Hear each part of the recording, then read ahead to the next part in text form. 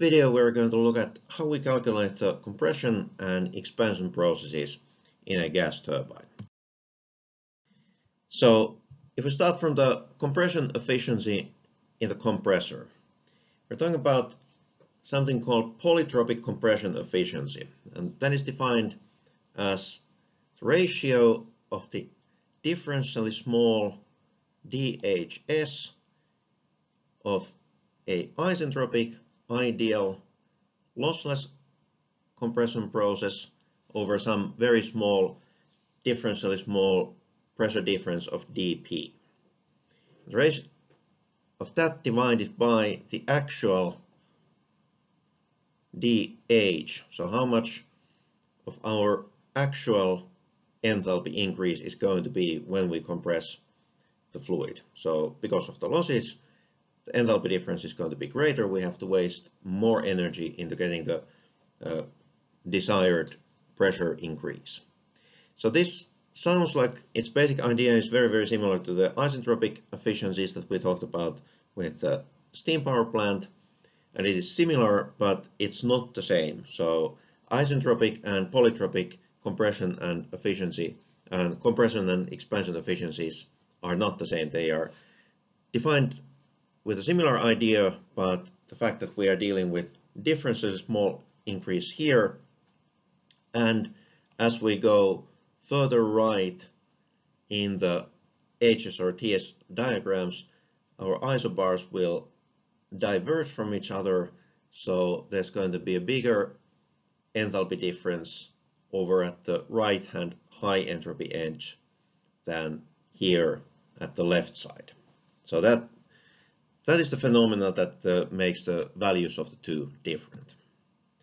Now, if we look at the compressor, so we are taking air from the atmosphere, we compress to higher higher pressure, then how do we calculate the endpoint using this polytropic compression efficiency?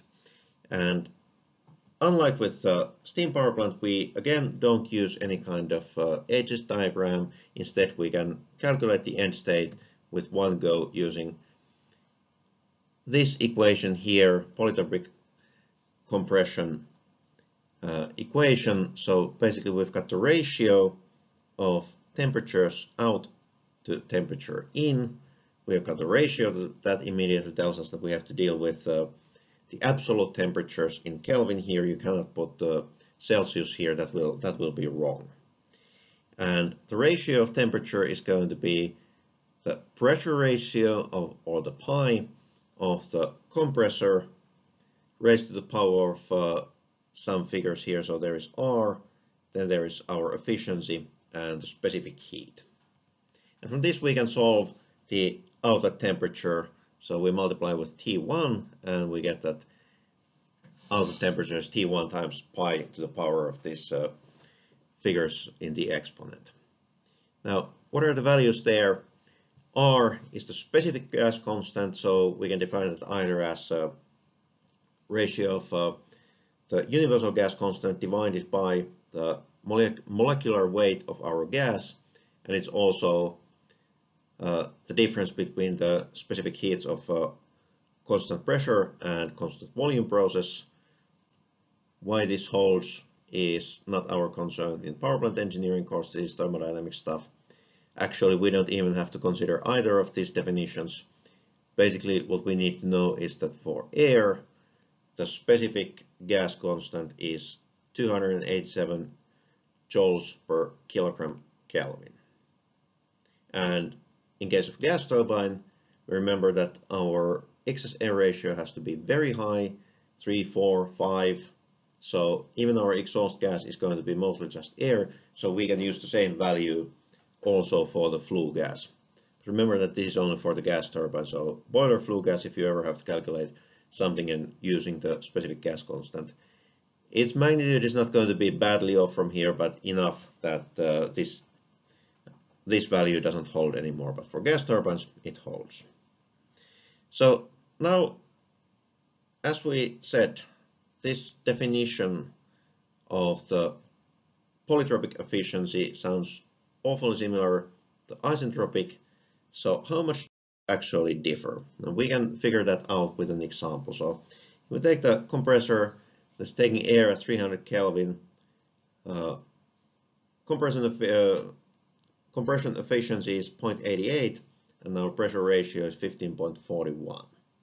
Now, if we assume that our specific uh, heat of the air is going to be 1.04 joules per kilogram Kelvin, so for air, specific heat is also always very, very close to 1, and the lower the temperature, the closer to 1 Cp gets for air.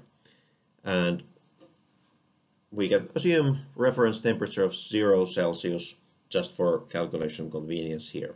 We're only calculating this one component, so no problem is going to be here. And what this means is then that the, the enthalpy at the inlet condition at 300 Kelvin, that means 27 Celsius, so 28 kilojoules per kilogram.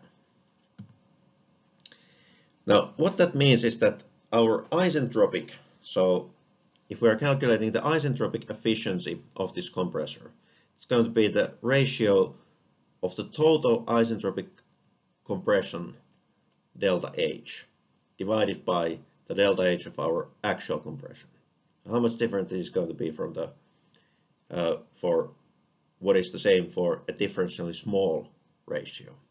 So temperature at the end of the isentropic compression is going to be 300 times pressure ratio to the power of these figures that we just covered. And now because isentropic, so it means our efficiency is 1. We get 638 Kelvin.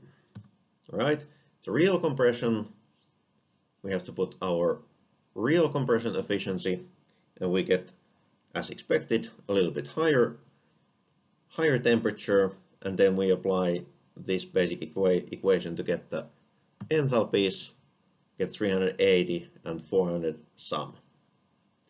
So if we draw it looks like this. So it means that as we're getting higher and higher, the ratio of this small enthalpy differences to the bigger one is going to be different as we are always for any kind of very, very small pressure difference along this compression process. So basically the sum of these vertical bits to which we compare all the way our process. It's going to be a bunch of small differences here, further right from our single isentropic efficiency comparison delta HS.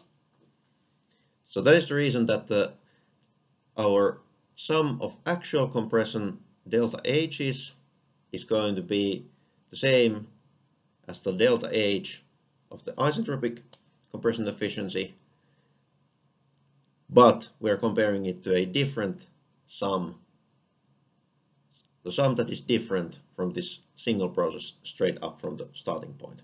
That means that we are getting different figures. How much different?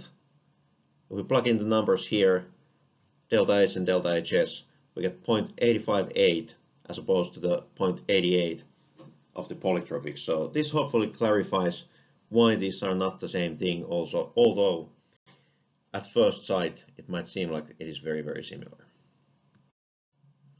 Now, if we talk about expansion, then same idea, polytropic, polytropic expansion efficiency, differentially small uh, pressure decrease and the related actual and ideal DHs. Same kind of equation. The only difference here is that now our efficiency jumped from here to the top in the exponent. So that's the only thing to remember. And now these polytropic compression and expansion equations, these are pretty much the only equations that you will be expected to remember by heart in the exam. Otherwise, basically, if you remember the definition of a term, you can, from knowing the definition, write down all the equations that you're going to need. But this is something that you most of you probably are not familiar enough with thermodynamics that you can just write down the equation from thermodynamic principles. So this needs to be remembered by heart. And now one thing that comes out from this, okay, in the example that we had, we had a given value of specific heat. But specific heat is a function of temperature. So what that means is that we have to start by taking an initial guess, either for the temperature or for the CP itself. And with that we can calculate one estimate for the outlet temperature, either compression or expansion. Once we have an estimated value for the, or the first calculated round result for the outlet temperature, then we can use, we can use that and the inlet temperature to calculate a better estimate for the average temperature. And that way we iterate until we get convergence and luckily this iteration is very, very fast. So as long as your first guess wasn't completely off, it's very often done in just two rounds, third at the very most. And it doesn't really, it's an approximation anyway, so basically you can either calculate first the inlet and outlet temperature, take an average temperature, take the CP there, or you can read the temp, uh, CP at the inlet temperature and then CP at the outlet temperature and take the average of the two CPs. Either way, it's pretty much equally good approximation, so either one is as acceptable as the other.